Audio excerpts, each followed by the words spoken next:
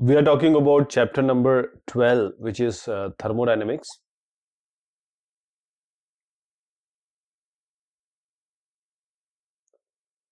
We are taking question and answer on uh, thermodynamics.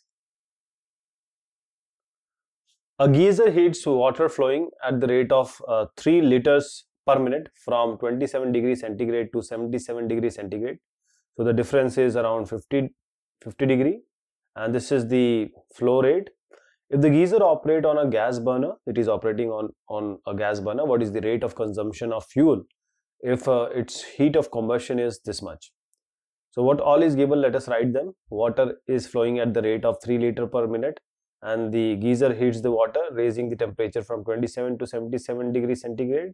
That is initial temperature is this one so 27 final temperature is 77 this one and the uh, rise in temperature. So let us take T2 minus T1 which is equal to 50 degree centigrade to 77 minus 27 the heat of combustion is also given. Let us write here 4 into 10 to the power 4 and the specific heat of uh, water we already know this value we are aware of. So now we know that the mass of flowing water is 3 liter per minute. Let us convert this liter into gram so this will be 3 into 1000 10 to the power 3 that means so 3000 gram per minute. Now total heat being used delta Q is equal to mc delta T. M is known to us, 4.2 C, is known to us and delta T 50 is known to us. Just put it here you get this value this is this is the total heat uh, use. But we need to know the rate of consumption. So this is this joule per minute and what we have here in the question it is given that the uh, heat of combustion is this much. This heat of combustion has to be divided to the total heat being used. So this is the rate of consumption. What amount of heat must be supplied to this kg 2 into 10 to the power minus 2 kg of nitrogen at room temperature to raise its temperature by 45 degrees centigrade. So delta t t temperature change is 45 degrees centigrade. And this is the kg of nitrogen. Molecular mass is also given. The r is also given. So the mass of nitrogen which is given in kg let us convert this one this one. Convert it into gram. The rise in temperature delta t is 45 degrees centigrade. The molecular mass of n2 is also given as 28 the universal gas constant is also given as 8.3 so what is the number of moles? Is simply small m by capital m. Small m is 20 gram and capital m is 28 so 20 by 28 this is n. We are we are going to use this n in the later this discussion. Then the molar specific heat at constant pressure for because we are talking about constant pressure what is the molar specific heat at constant pressure for nitrogen? The cp which is c and p p sub is for constant pressure. So specific heat molar specific heat 7 by 2 r. R we know this is 8.3 so 7 by 2 into 8.3 this gives you this value. Now total amount of heat which is supplied heat to be supplied the relation will be delta q equal to ncp delta t. This n is small m by capital m. We just wrote that here. So this is the value you know. You have to put this value. This comes around 0.714 cp is we just found out 29.05 and delta t is of course given in the question 45 and this is the final value. This is the amount of heat to be supplied is 933.38 joules. Explain why two bodies at uh, different temperature T1 and T2 if brought in uh, thermal contact do not necessarily settle to the mean temperature T1 plus T2 by 2. See for this to happen the bodies have to have you know same same uh, characteristic. So what is happening here is uh, it is not always true that it has to be exactly between T1 and T2 or T1 plus T2 by 2 average. So when two bodies at different temperature T1 and T2 they are brought in uh, thermal contact the heat flows uh, from the body at higher temperature to the lower temperature this we know uh, till the point we ach achieve the equilibrium. So the temperature of both the bodies they become equal but the mean temperature is not is only achieved when thermal capacities of both thermal capacities of both the bodies are equal. This is very important. If thermal capacities are equal, then only we say that this is going to happen. The next is the coolant. So coolant in different plant like chemical or nuclear plant should have high specific heat. Uh, this, this is the liquid which is used to prevent uh, different parts of a plant from getting too hot. That is why it is called as coolant. So the coolant in this plant, they, they should have high specific heat. Why? Because uh, this higher the specific heat of the coolant, higher is the heat absorbing capacity and that is exactly what for this coolant is being used. So a liquid having a high specific heat is the is best for being used as a coolant in either nuclear, chemical or any other plant where this coolant is desired and this uh, would definitely prevent different parts of plant from getting too hot. Air pressure in a car tire increases during driving. Yes, because the temperature increases, therefore, therefore the air pressure increases. So when the car is motion, the air temperature inside the car increases and uh, why? Because of the motion of the air molecules. We know by Charles law the temperature is directly proportional to the pressure. P is directly proportional to T. So if the temperature inside the tire will increase, the pressure will also increase. That is how you might have heard about a tire being burst. You know, they are bursting when they are on uh, highways because the car is moving very fast 100 120 130 kilometers an hour it is traveling so this uh, creates a lot of heat, generate heat inside the tire and it may burst. The next is uh, the climate of harbor town is more temperate than that of a town in a desert at the same latitude. So see, if this is a town and here this is this is all water. This is all water. So what is happening that whatever you know season is there, this water is going to control that it will not make this area too hot or too cold. Well, this is not possible when you are living in areas where there is no water or there is no um, water bound, say, evaporation, condensation, etc. going on. That is why a harbor town, harbor means where the harbor means there is some sea or some water, uh, you know, abundant water resource. So Harbor Town has more temperate climate without the extremes of heat and cold as I just suggested than a town located in a desert at the same latitude. Desert has no water. So because the relative humidity in Harbor Town is more than that it is in desert town. A cylinder with a movable piston contains 3 moles of hydrogen at standard temperature and pressure. The walls of the cylinder are made up of heat insulator and the piston is insulated by having a pile of sand on it. So by what factor does this pressure of the gas will increase if the gas is compressed to half its original volume? So uh, what we will see here is the cylinder is being said that it is completely insulated from surrounding. That means there is no heat exchange. That means there is the process is purely adiabatic. So initial pressure P1, in final pressure P2. Let us assume this. Initial volume V1, final volume V2. Here the ratio of specific heat gamma is 1.4. This we know by theory. We have learned it in uh, theory. So for an adiabatic process, we have P1 V1 to the power of gamma, P2 V2 the, to, to the power gamma. Now the final volume, this V2 is actually half of V1. So V1 by 2 final volume is compressed to half of its initial volume. That is V1, V2 can be written as V1 by v, V1 by 2. So let us put here in place of V2, V1 by 2. So we are putting V1 by 2 and when we take the ratio of p2 by p1 it gives you 2 to the power because this eventually gets cancelled. This becomes 2 to the power gamma. Gamma is 1.4 so 2 to the power 1.4 this gives you 2.639 the pressure increased by a factor of 2.639 in changing the state of gas adiabatically from equilibrium state A to another state B, the amount of work is equal to 22.3 joule is done on the system. See, the work is done on the system, not by the system. This will come into picture. If the gas is taken from state A to B via a process in which the net heat absorbed by the system is 9.35 calorie, how much is the net work done by the system in the latter case? We have to take 1 calorie as 4.19 joule.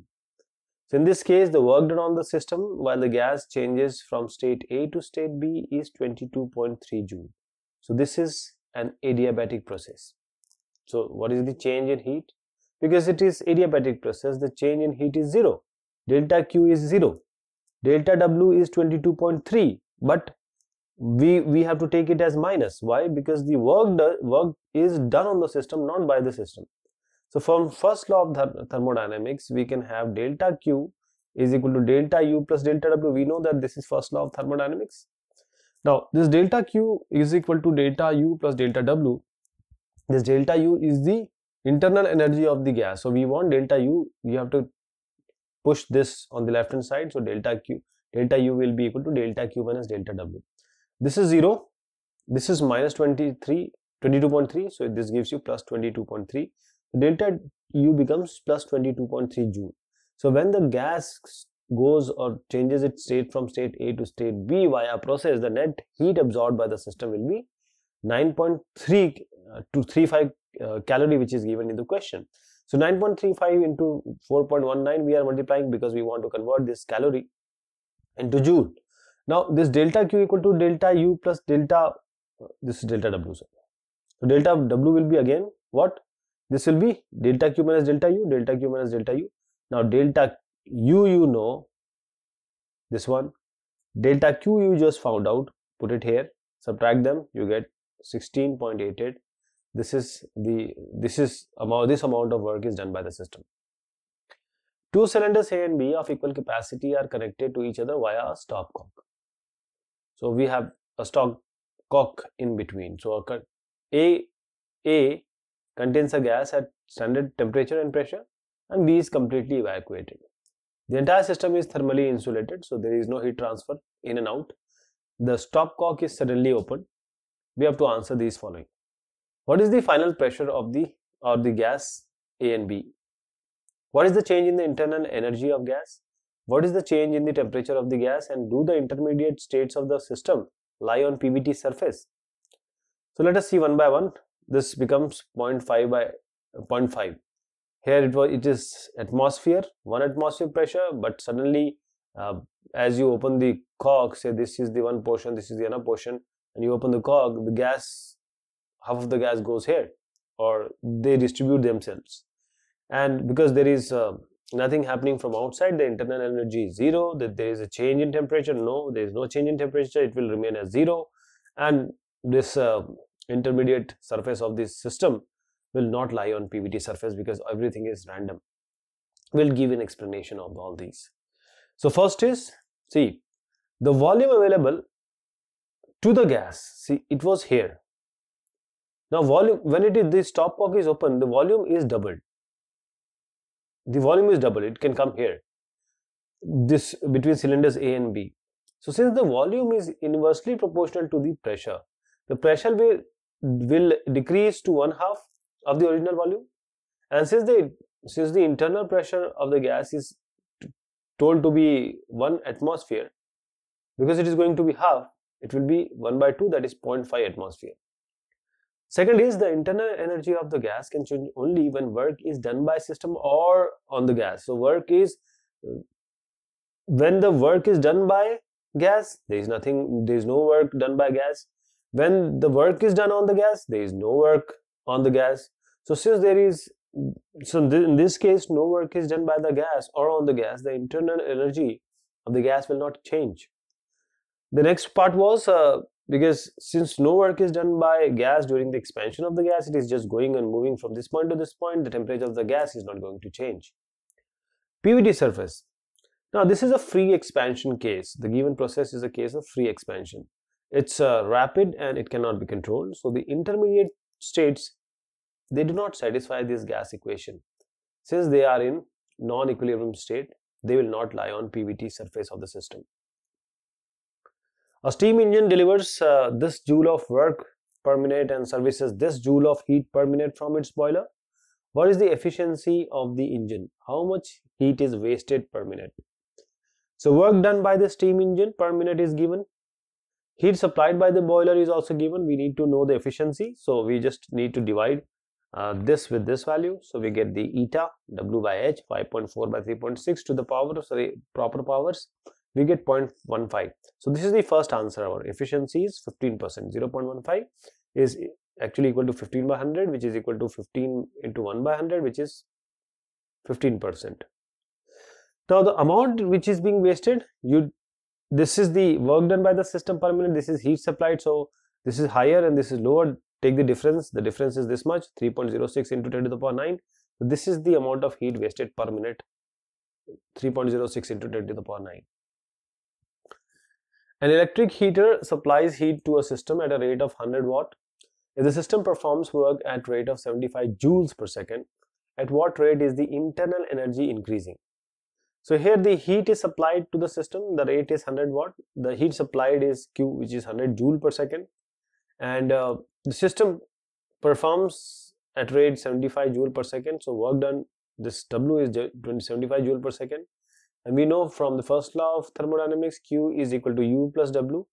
Uh, we want to know the U that is the internal energy so it will be Q minus W. Q is Q is 100, W is 75. Take subtraction 25 joule per second that is watt. So 25 watt.